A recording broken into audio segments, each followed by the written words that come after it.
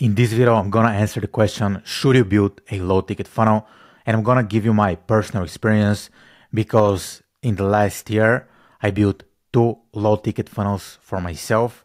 And I was the guy who set the funnels. I was the guy who ran the ads. I was the guy who optimized the funnels. So I'm gonna give you my personal experience and I'm gonna share what's the one funnel that you must master no matter what the stage of your business. And I truly believe this video will be very useful for you because I'm someone who did the marketing campaign, the marketing campaigns for over 70 information products, consulting agency offers, etc., etc. So I'm gonna give you an insider look of what you need to know about low ticket funnel because when I'm when I'm browsing these groups, when I'm on my Instagram feed, I see a lot of people saying build a low ticket funnel. But this is not the whole picture. They're not giving you the whole picture, and I'm gonna give you the whole picture. Because in this channel, I talk about the the struggles of marketing. If you open your feed, you're gonna see a lot of people bragging about making 11k per day, 20k per day, per day, 100, 200 grand per day, but nobody talks about the struggles. So I'm gonna give you also the negatives of a low ticket funnel. The funnel I'm going to talk about first is the one I built in October. I, lo- I, I launched this funnel maybe in September or October 2023. And I was running this funnel until May 2024. I think I just took one month off because Facebook was crazy. So most of the months I was profitable. Some months I did 20 to 30% profit margin, profit. Some of the months my profit was like 10 to 15%. Some months I broke even, and I think in February my funnel actually lost money. And my funnel lost money because Facebook ads were very unreliable for me. CPMs were crazy high. If you were advertising on Facebook, you'll know what I'm talking about, but the platform was not very consistent. In order for me to make this funnel work, what I had to do, I had to create a new product to boost the average order value. So I created a $44 uh, product on average that boosted my uh, average order value and I added a high end coaching, high ticket coaching. I was charging 1K for this. Then I switched this to 2K.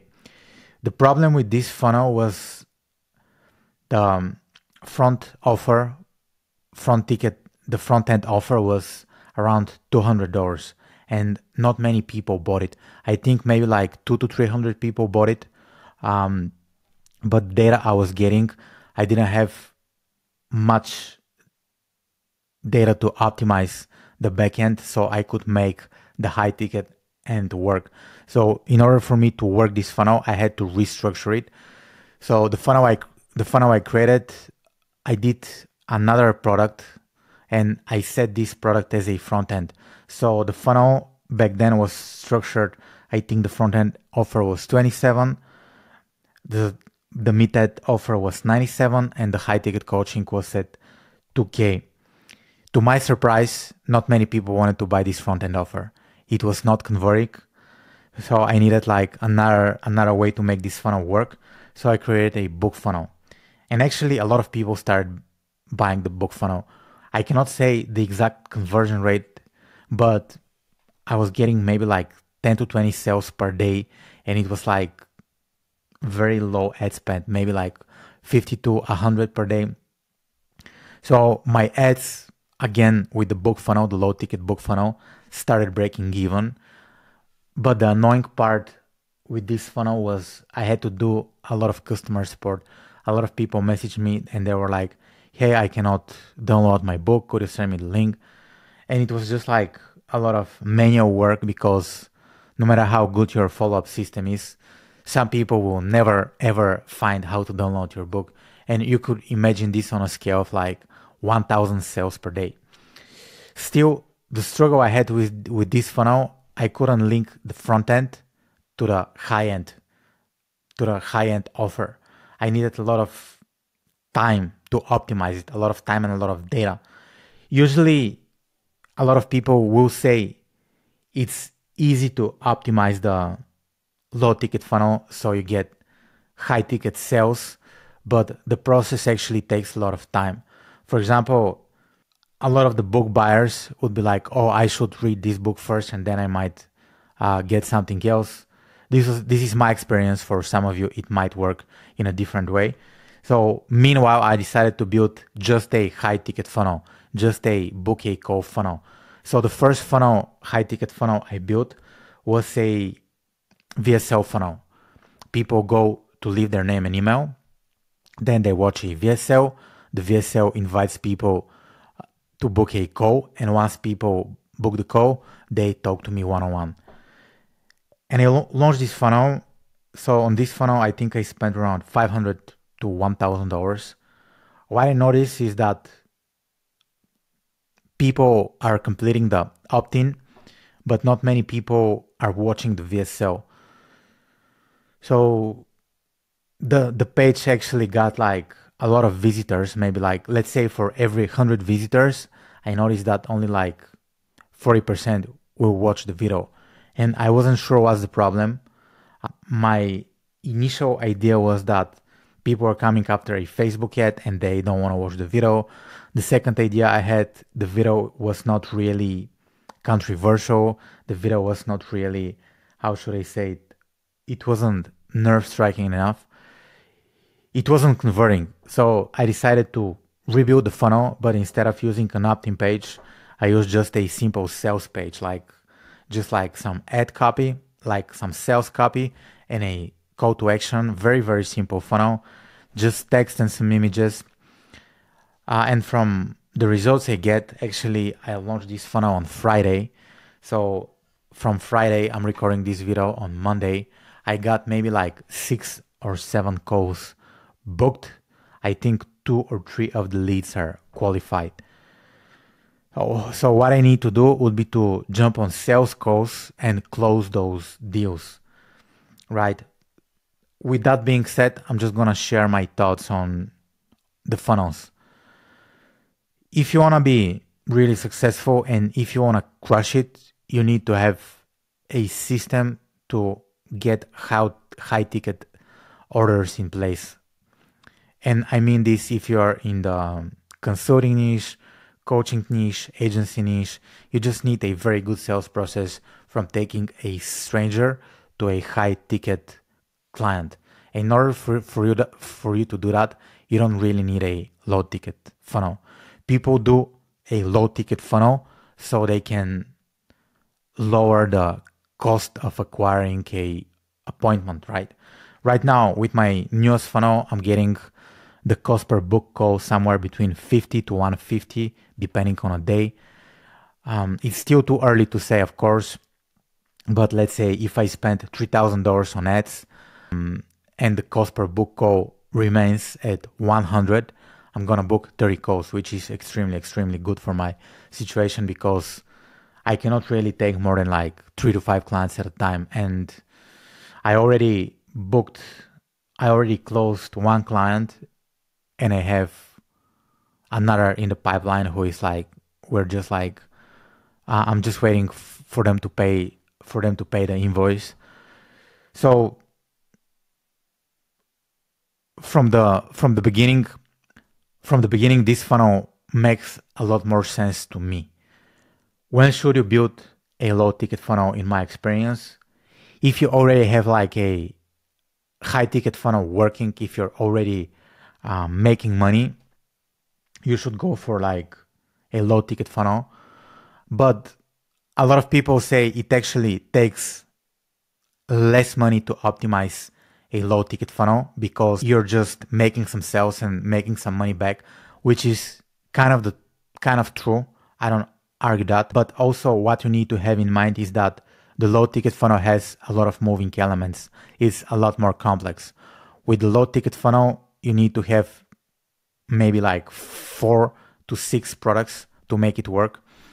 You can have a sales page, you can have order bumps, you, you can have upsells, downsells, cross sells, whatever they call it. So the complexity of the low ticket funnel is kind of like kind of like a lot of moving pieces. And to make the whole ticket the whole low ticket funnel work, you just need to optimize each little thing, right? Each little thing. For example, if the front end offer doesn't work, you just need to recreate it or maybe like replace the product or position the product in a different way. If people are not buying the order bump, again, you need to change the the order bump or just like phrase it in a different way. So there is like a lot more work going into optimizing low ticket funnel. When it comes to like high ticket funnel, depending on how you set up things, the optimization there is not that long. For example, you have a an opt-in page and the opt-in page you have a name name and email. So here the thing that you need to optimize would be the opt-in rate. Usually you want to get it above 20%. Above 20% will be really, really good. Then you have a booking page. Uh, on the booking page, people can actually go and book a call. Here, you you want to aim for like 3% at least booking rate. And when you do calls, some people won't show up on the calls. So you need to figure out how to optimize your show up rate, right? You can do like SMS automation, you can do email automation. For example, Calendly, if you use Calendly, they have a good reminder series, so uh, you can use those.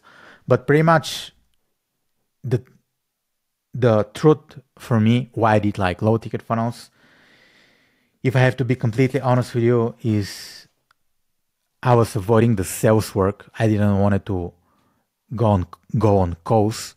I didn't want to talk to people, close clients, because this was like appealing to me in marketing. I just wanted to sit on my computer and see money rolling in in my uh, bank account. And another thing I noticed after like working with clients, I was selling. I'm selling online courses. Some people are still buying the online courses. They find the link to organic, and I did like some consulting calls with the people who bought my online courses and what I noticed is that they don't implement the online courses properly. So information without proper implementation is useless. That's why I wanted to transition to maybe like a done with you or done for you type of service because I think this will help people much more. If you think about it, any information that we have right now is just one click away. You can go to ChatGPT, type the prompt, and you're and you're gonna have a pretty decent answer what I think we need right now is proper implementation, and that's why I created my latest high ticket funnel. I'm gonna go and I'm gonna do sales calls. I'm gonna talk to clients because this was the work I was avoiding. I was scared uh, of doing sales. For some reasons, I had this mindset of me not being a good speaker. I thought in order for you to close sales, you need to be a smooth talker. However, when I thought about it, I already had clients, right? And I closed those clients on the phone. So in retrospection, I already did the work I was avoiding uh, for such a long time. So I'm going in the sales process with a new mind frame. I already have for this week it's still Monday. I have, I think, seven or eight calls upcoming. It's maybe more, I'm not sure. But still, it's a very, very good beginning. So, wish me good luck, guys. And if I have to be honest with you, you could make the low ticket funnel profitable on its own. You could make the mid ticket funnel profitable on its own, but it's gonna be extremely difficult because you rely on Facebook ads or YouTube ads quite a lot. If you have an organic channel like YouTube channel of five of like half a million subscribers, just go for a low ticket funnel. It's gonna make a lot of sense. Create a $200 online course, create a $500 like online course, do a book funnel. It's gonna work because you don't have to spend money on traffic.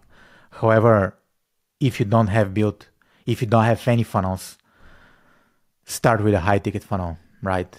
And I can help you build your own high ticket funnel.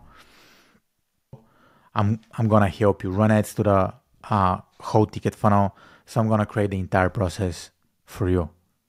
Yeah, thank you for watching.